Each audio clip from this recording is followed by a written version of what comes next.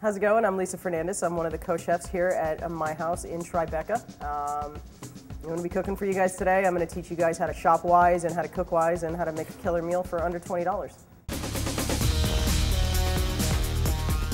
Um, so basically today, you know, my, my goal was to spend less than $20 and make uh, four separate dishes.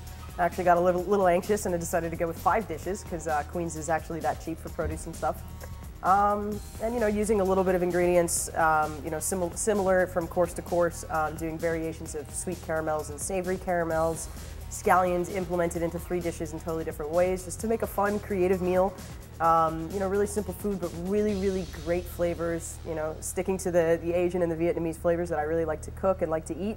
And, you know, basically teaching you how to make a killer dinner party without, you know, breaking the bank and without breaking your back.